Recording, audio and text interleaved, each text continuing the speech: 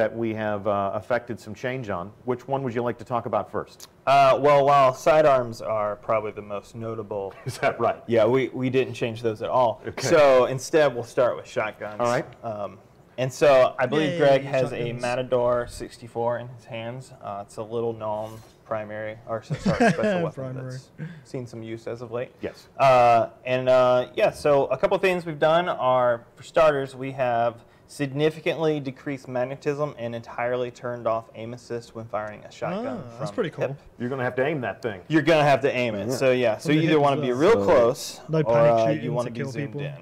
Um, Okay. Kind of goes against what I do, but still. And then yeah, if you zoom in and do the the walk it doesn't around stick trick. at all. Oh, look how sticky that is. And yet, if he unzooms Yay. Now, yeah, go ahead and unzoom. and do the sticky trick, oh, not a sticky. See? Yeah. Yeah. So that's doing some stuff. Uh, and then the other thing we did uh, that is again intended to put the shotgun kind of more in its in its place and it back to its corner. Uh, is we've significantly decreased the in-air accuracy of shotguns, and so you can't just. I mean, occasionally you know you get lucky Oh, with yes. shotgun, right? It does Sure. spread. Yes. You, will occasionally kill Yes, I a guy, need but very to tweet. often I these need days, if you try, you were There you on the go. ground. Oh my did that. god. If you were trying to uh, kill a guy from the air, you're very likely to, to significantly miss. Well, there, well, he was right Oh, up on the yeah, I mean that's cheating, right? There you go. Oh, vindication. So uh, yeah, I believe Greg has some other notes, and then I will. come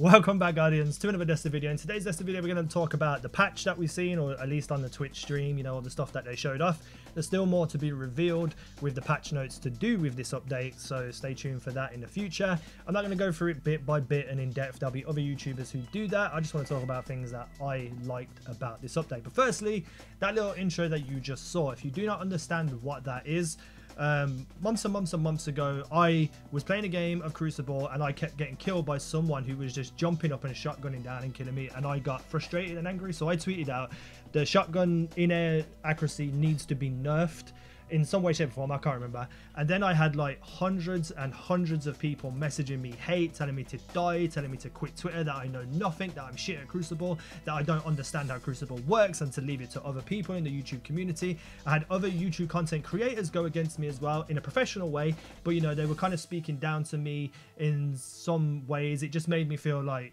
fuck this to the point where I even left Twitter for like a week because it was just constant hate, constant tweets, constant everything. I'm still getting tormented about it to this day through Xbox messages when I when people see me in Crucible.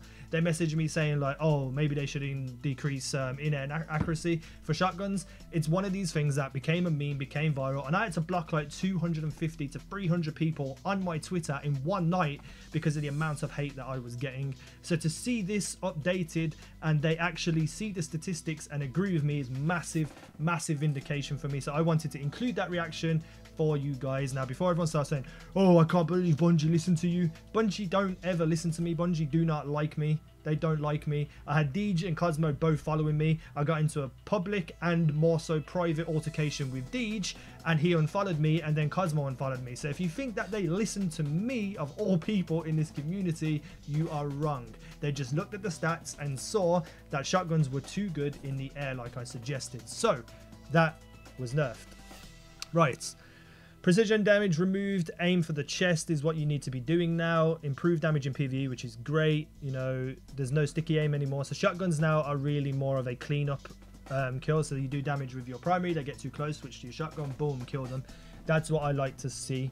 Um, no more, you know, charging in and sliding and getting an easy kill or jumping up and getting an easy kill, hovering above a door when people to run through.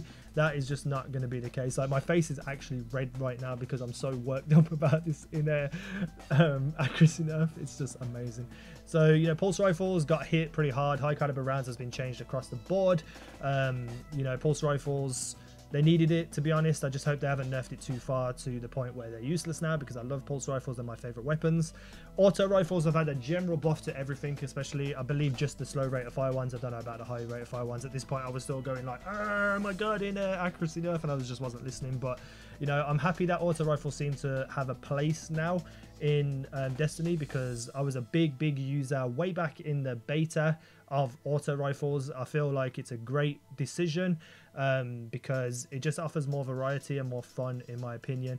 Um, hand cannons have gone back to like year one, where precision is rewarded to actually hit people in the head. You will be rewarded for it. None of these ghost bullets or anything like that. The only difference is now is that the range drop off. So if you're further away from someone, the damage like just keeps cutting in half and cutting in half. So you need to be close up to someone to do precision damage. But if you are great with accuracy of hand cannons, you are going to absolutely dominate.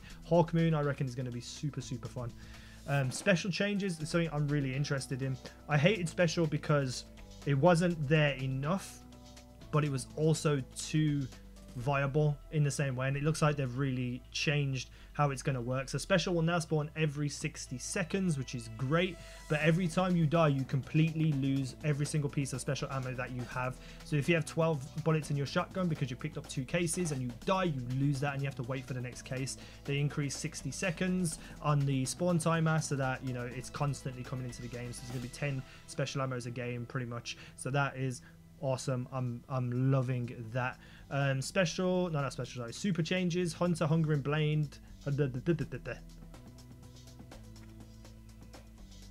changes to some of the um, supers are pretty good. I like how Hunger and Blade, even though it's all I ever use now, um, you cannot just get instantly massively healed with Hunger and Blade. You will get immediate regen for your health, but you won't get immediate regen for your shields. But any sort of big bump of health that you do get from a kill will carry over into your shields. So you won't get completely full on health and shields, but you will get a massive jump up. So basically, you are more killable while you are in um, your Bladedancer. The throwing knife can now cause solar damage, which is pretty cool for PvE, not that big of a deal. Warlock has had the Storm Thunder Snipe completely nerfed. Um, not to the point where it's useless, but the range on it was stupid and ridiculous. There was no real talk of the aim assist lock on. So, you know, when you used to just slam and you turn around like 180 and hit someone behind you. There's no talk of that yet, but there is more stuff to be revealed in the patch notes and further down the line, closer to when the patch is released. Landfall now, if you choose to have landfall and you use it, your super will burn down quicker. So it's giving you an option to use some of the other perks like the chaining um, double capabilities instead of landfall. So if you've got like um, the gauntlets, can't quite remember what they're called right now, um, and the dual thingy, your Stormcaller is just going to be the same as it was. Um, Titan, the Juggernaut shield has been disabled in air after a short amount of time, so you're not going to be completely in like invincible where you can just run through anything. You can still jump up into the air and have protection, but after a short amount of time, it's going to disappear. So, you know, those are the things that I liked about this update, this patch, and I just wanted to talk to you guys about it right now.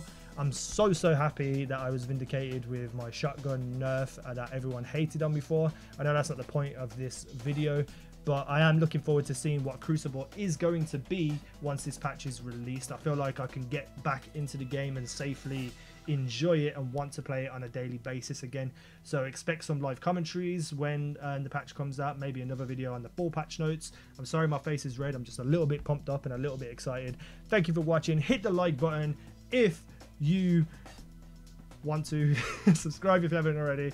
I've been easynow and you guys even you haters who doubted me have been awesome.